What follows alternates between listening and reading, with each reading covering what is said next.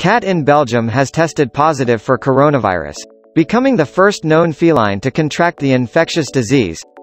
The sick pet in Liege tested positive after showing symptoms typical of COVID-19, the Brussels Times reported.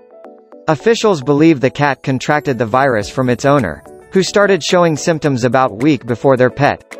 Professor Steven van Gucht, doctoral researcher at Ghent University's Faculty of Veterinary Medicine, said the cat had diarrhea, was vomiting and had breathing difficulties. The virus was picked up when researchers tested the cat's feces. He said, The cat's current condition is not known. Van Gucht described the instance as an isolated case and said the risk of animal, to, human transmission was very small. While there have been no other reported cases of cats catching the potentially deadly virus, at least one dog has returned positive test for COVID-19.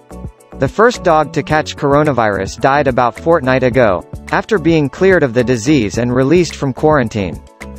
The 17-year-old Pomeranian from Hong Kong, which had been cleared of COVID-19 after initial suspicions of the infection were proven unfounded despite weak positive diagnosis, passed away on Wednesday, just two days after returning home. Vets in the Asian financial hub said the dog's death could have been because of the stress and anxiety of being in quarantine and away from its family. Information provided by the World Health Organization stated there was no evidence that dog, cat or any other pet could transmit COVID-19 to human.